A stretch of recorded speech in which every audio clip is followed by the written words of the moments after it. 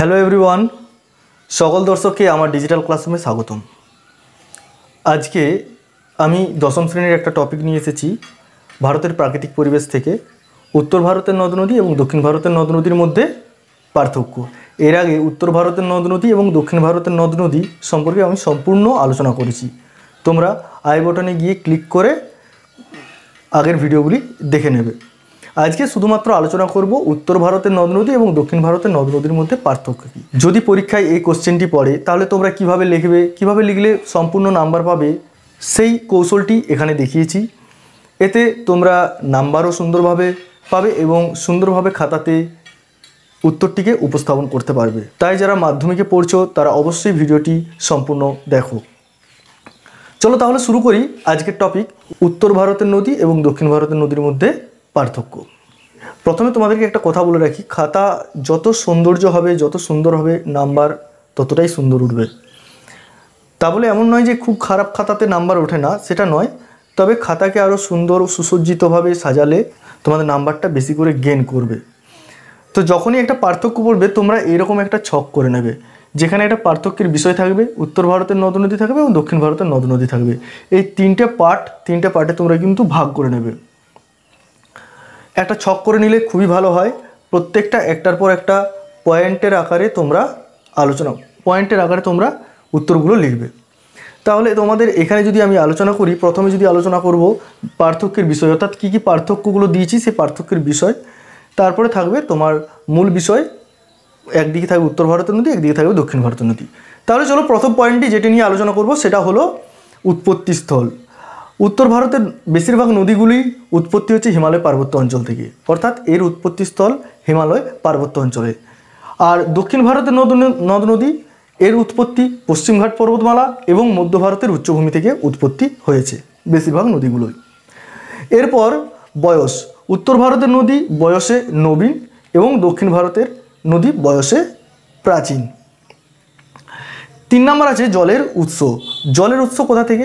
যেহেতু উত্তর ভারতের নদীগুলো হিমবাহ সৃষ্ট, হিমবাহ থেকে উৎপত্তি লাভ করেছে, তাই জলের উৎস বরফ গলা জল এবং বৃষ্টির জল দুটো থেকেই সৃষ্টি।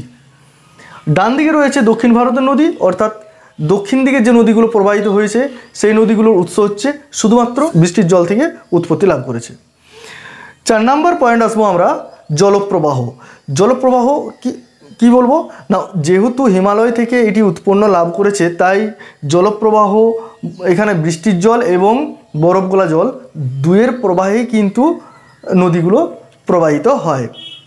এরপর রয়েছে ডান দিকে দক্ষিণ ভারতের নদী। দক্ষিণ ভারতের নদীগুলো শুধুমাত্র বৃষ্টির জলে পুষ্ট এবং বৃষ্টির জল দ্বারাই প্রবাহিত হয়। তাহলে দক্ষিণ ভারতের নদ নদীগুলোর ক্ষেত্রে যেহেতু এগুলো বৃষ্টির জলে পুষ্ট, তাই বর্ষাকালের সময় এগুলোতে জল থাকে এবং শুষ- শুষ্ক ঋতুতে এর জল কমে যায় বা জল থাকে না বললেই চলে। পাঁচ নম্বরে আসব দৈর্ঘ্য ও অববাহিকা।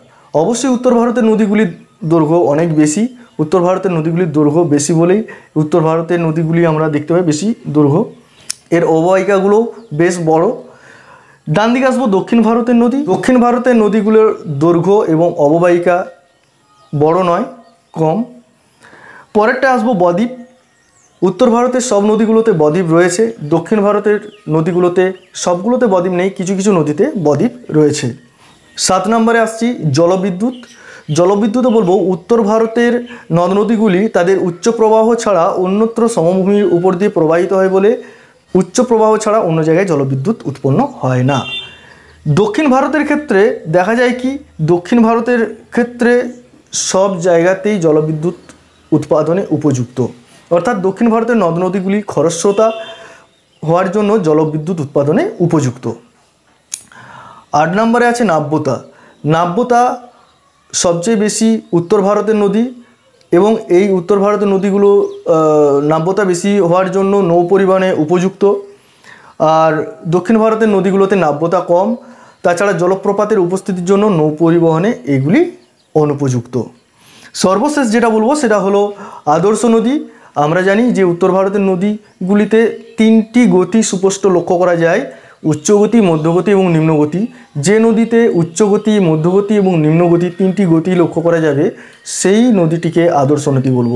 সেক্ষেত্রে উত্তর ভারতের নদীগুলি আদর্শ নদী আর দক্ষিণ ভারতের নদীগুলিতে সুস্পষ্ট তিনটি গতি লক্ষ্য করা যায় না বলে দক্ষিণ ভারতের নদীগুলি হলো আদর্শ নদী নয়।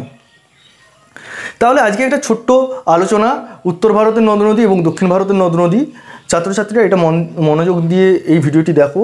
তোমাদের যদি এই ভিডিওটি ভালো লেগে থাকে তাহলে অবশ্যই বন্ধুদেরকে শেয়ার করবে। আর যারা এই চ্যানেলে নতুন এসেছ, তারা অবশ্যই চ্যানেলটিকে সাবস্ক্রাইব করে নেবে। পরবর্তী ভিডিওগুলি খুব তাড়াতাড়ি নিয়ে আসব। সকলকে আমার ভালোবাসা জানিয়ে এখানে ভিডিওটি শেষ করছি। Thank you